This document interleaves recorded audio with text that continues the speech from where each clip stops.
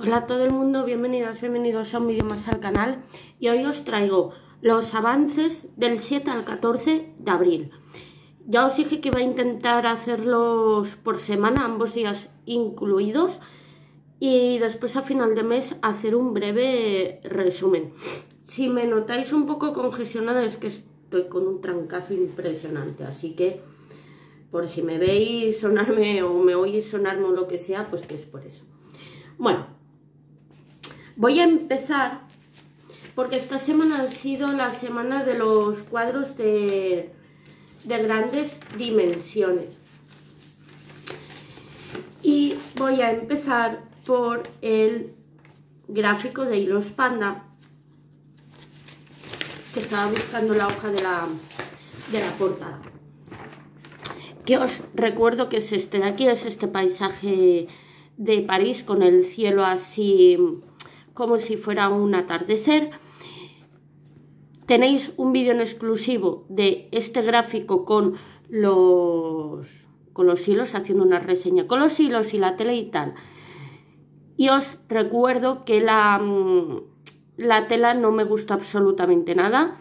Empecé a hacer el primer folio que es este de, de aquí, el número 4. Y ya os digo que no me mm, no me gustaba el resultado y decidí empezarlo de nuevo. Bueno, y lo he empezado, a ver, es que tiene tela porque es grande y nunca mejor dicho, tiene tela literal. Mirad, me he hecho este primer folio, ¿vale? Que es el número 4. Los folios son como veis, de 40 por 60, em, que no son muy grandes, no llegan a 3.000 cruces por folio, pero bueno, eh, tampoco es eh, que sean muy complicados, por lo menos por ahora, lo que es el cielo, pues, a ver, hay eh, cruces sueltas, vale, que no es confeti, son cruces sueltas de, colores que igual tenemos unas cuantas por aquí, otras cuantas por aquí, otras cuantas por esta zona, pero es un gráfico muy llevadero de hacer, tiene bastante bloque de color, como podéis ver, todo esto de aquí, todo esto de aquí, que luego entre medias en este bloque de color igual haya dos o tres colores muy, muy, muy parecidos, no os lo niego, pero eh, aunque el tamaño sea como el de un GB Mini, eh, no tiene nada que ver en cuanto a confeti, ¿vale? En cuanto a la resolución, yo creo que va a quedar muy bien. Y, eh, bueno, los hilos me los he organizado así en estos organizadores. No he puesto la madeja entera, solamente me he ido poniendo unas hebritas. Lo que he hecho ha sido escribirme el código del hilo panda y los tengo aquí así. Yo, como sabéis que saco una, una hebra y la dobla a la mitad, más o menos la largura, la largura perdón, del hilo que he cogido ha sido esta, ¿vale? Eh, y cuando se, me, cuando se me acaben las hebras que tengo aquí, pues vuelvo a, a coger la, la, bobina, vuelvo a poner y ya está. Y eh, bueno, pues ya estáis viendo las tonalidades que eh, que tienen. Están un poco así, que parece que están destrozados, pero es que claro, vienen, eh, al venir enrollados, pues el hilo coge la forma, ¿vale? Pero, bueno, mirad qué tonalidades más bonitas que tiene, que estas tonalidades ya las empiezo a usar eh, en los siguientes folios, mirad.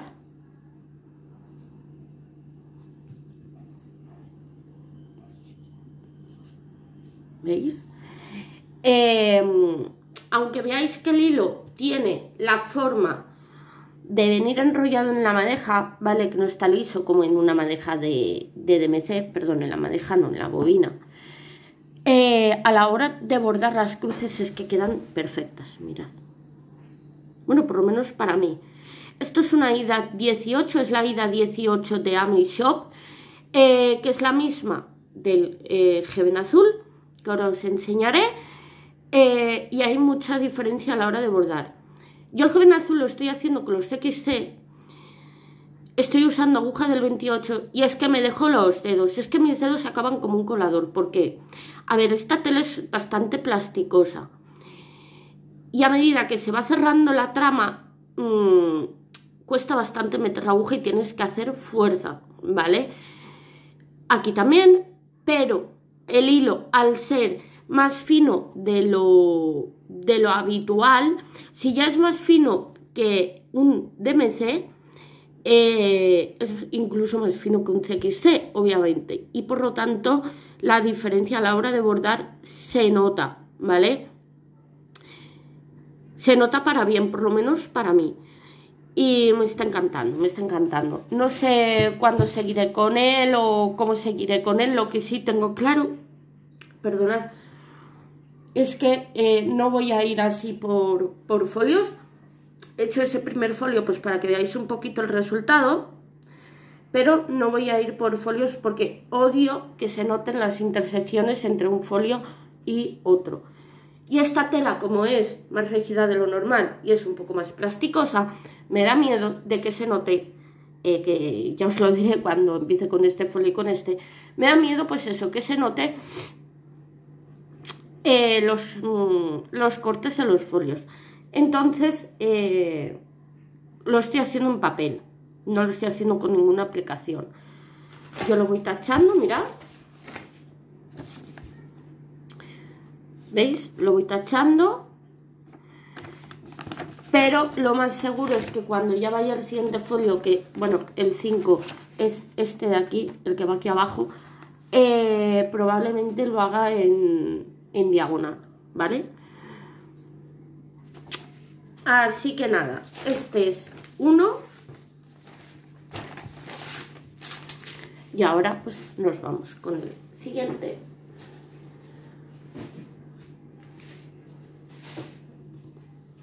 El siguiente que he bordado esta semana, pues es... A ver, pues lo saco de la funda para que veáis bien. Es este de aquí, es el Heaven azul. Eh, no he hecho mucho, lo cogí tres días. Un día hice 722, me parece, otro día 727 y otro día 372 cruces. Me he centrado en esta diagonal de aquí, ya sabéis que lo voy haciendo por diagonal y como tenía que mover el bastidor para seguir hacia, hacia mm, aquí abajo, digo, bueno, pues en vez de seguir, digo, paro, se lo enseño porque las que estáis haciendo este, este mismo gráfico, eh, como veis, ya empieza el festival. Perdón. Empieza el festival de confeti, porque ya están saliendo las primeras ramitas de los árboles que vosotras en cámara lo estáis viendo. Os lo voy a alejar un poquito. Lo estáis viendo eh, mejor que yo. Eh, y empiezan a notarse, como os digo, las sombras de las copas de, de los árboles y eh, ya empieza a haber confeti. Aún es un confeti muy ligero, ¿vale? Porque yo tengo cuadros en los que en un cuadrante de, de 10 por 10, que son 100 cruces, igual 80 o 90 cruces son eh, colores diferentes, ¿vale? Entonces eh, es un confeti muy ligero, pero que sepáis que a partir del el cuadrante 110 más o menos, ¿vale? Ya empieza a haber un poquito de, eh, de confeti. En el resto, que es todo fondo, en la única parte donde hay un poquito de confeti es en la intersección entre las tonalidades azules, que igual mezcla dos o tres tonos más de azul para que... Em, claro, yo es que lo estoy viendo a través de la cámara, no se nota tanto, pero yo viéndolo en persona sí que se nota por aquí yo estoy notando dos o tres tonos de azules por aquí también, lo que es en la intersección, ¿vale? Para que no se vea tan pixelado y no sea una intersección tan brusca. Yo lo estoy viendo a través de cámara y mm, no es porque lo esté haciendo yo, pero cada vez me gusta, me gusta más. Ya sabéis que por tema de luces y demás, em, a través de cámara se ve un poquito diferente a lo que a cómo lo vemos eh, en persona, pero los colores son prácticamente eh, las mismas tonalidades. Y eh, bueno, pues a seguir con la técnica en diagonal, como veis no se nota ningún corte. Eh, ahora mismo ya he llegado al cuadrante 150 y aquí abajo llegaré ahora al cuadrante también, no, llegaré al cuadrante 150 también, ¿vale? ¿Qué cálculos son? pues serían como prácticamente tres folios de largo y tres folios de, eh, de ancho, ¿vale? Em, esa es la única pega, es que no sabía muy bien cómo decir lo que le veo yo a esta técnica en diagonal, que no llevas un control de folios a las que os guste eh, llevar el control de folios si queréis hacer la técnica en diagonal os tenéis que coger el papel, ¿vale? Como por ejemplo en este de aquí de, de panda os tenéis que coger el, el, papel, entonces os hacéis las diagonales en el, en el folio y vais haciendo la diagonal por folio. El problema del Pattern Keeper, a ver que también, también se puede porque también marca las intersecciones entre los folios, eh, pues em, yo no lo estoy haciendo así. Es más, he ampliado la diagonal a 20 cuadraditos de, de, ancho eh, para hacerlo un poco más, un poco más llevadero. Eh, que ya os expliqué que el Pattern Keeper daba esa opción, diagonales de 10 de ancho, diagonales de 20. Ya las he puesto a 20 y lo seguiré haciendo así. Así que, bueno, pues ese es el, el segundo proyecto que he bordado esta semana. Y nos vamos a por el siguiente que, bueno, tampoco he bordado mucho, pero le he dado un, un empujoncillo. Me apetecía.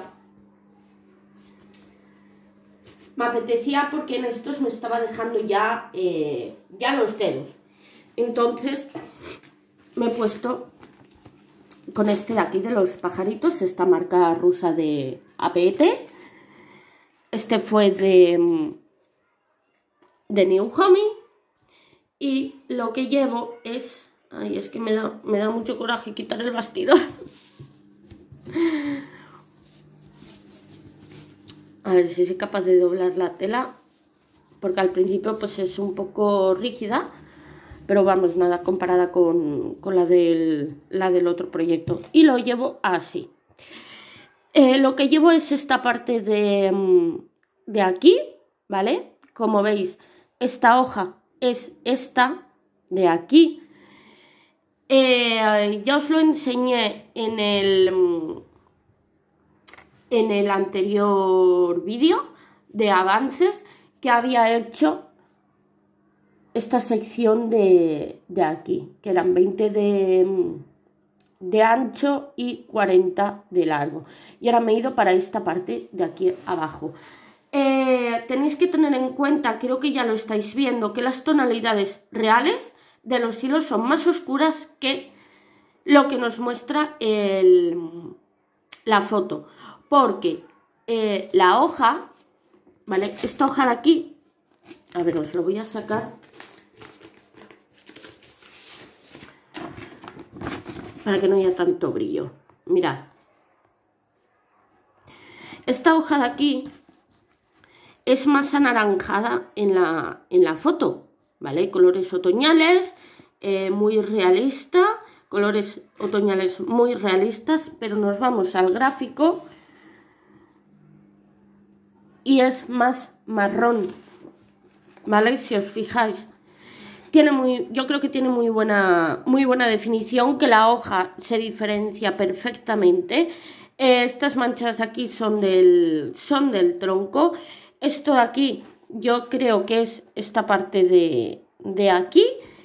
Y, yo creo que tiene muy buena definición, pero eh, ese es el problema de este tipo de kits y de muchos. No, tiene por qué ser, por qué pasar esto solamente en los kits chinos, no.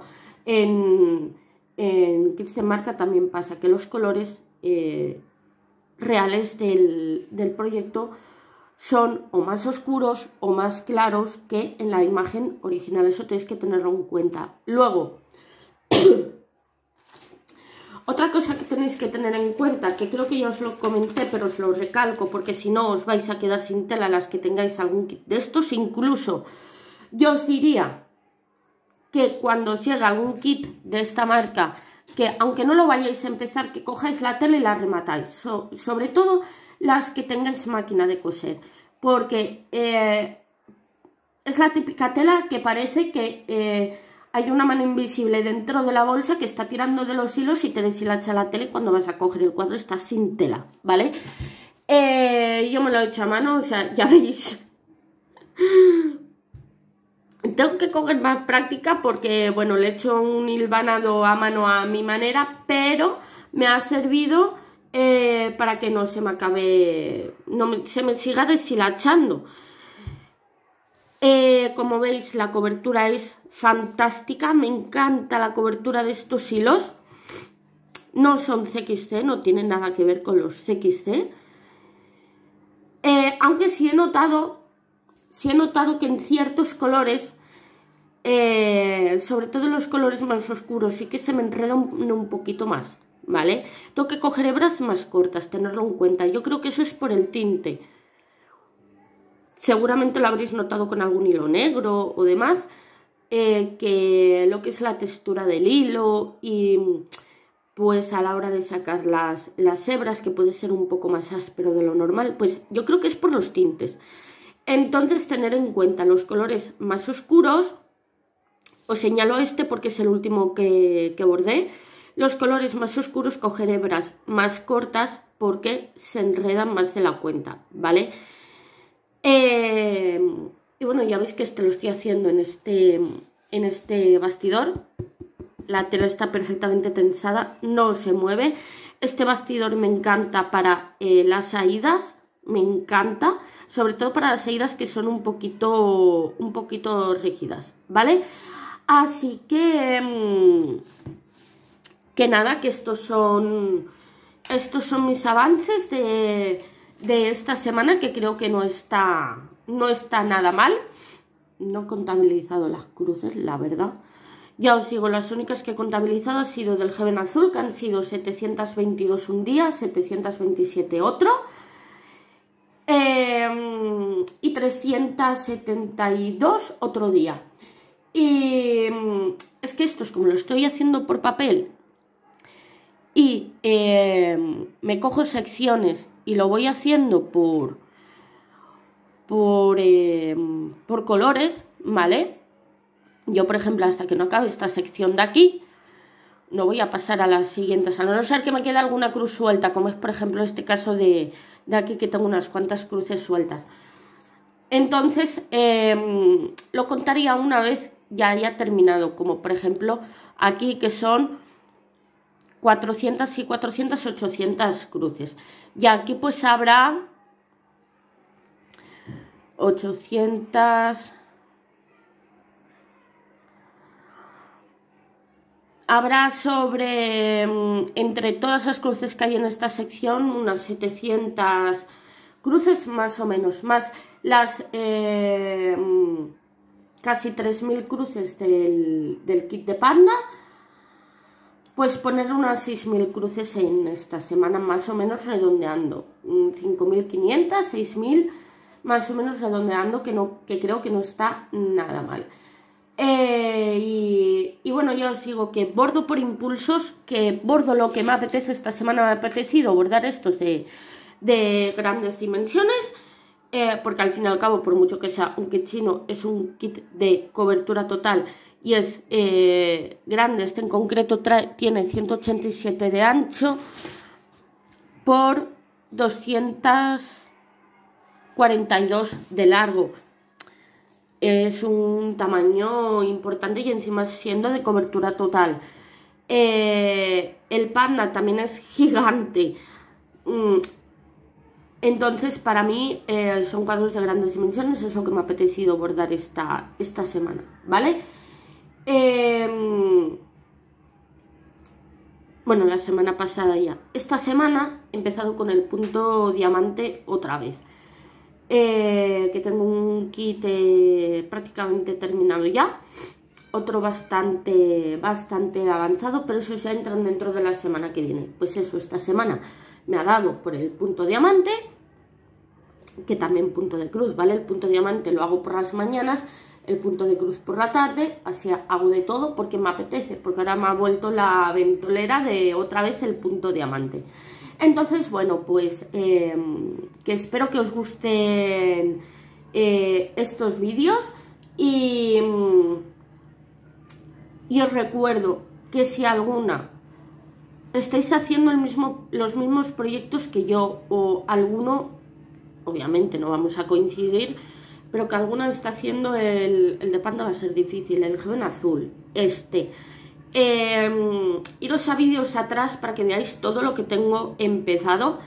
Y sí, eh, bueno, sobre todo por Instagram eh, subo fotos prácticamente eh, diarias o cada dos tres días subo fotos de lo que de lo que hago cada vez que cambio de proyecto subo una foto eh, si queréis que vuestra foto aparezca en el vídeo, ¿vale? Yo digo de quién es la foto, digo vuestras redes sociales o digo vuestro canal y compartimos avances entre todas, me escribís por privado, me lo mandáis a, mis redes sociales y, en los siguientes vídeos, a medida que los vaya abordando, pues os los iré, eh, os los iré poniendo, ¿vale? Así que nada, que lo dicho que nos vemos en el siguiente vídeo. Adiós.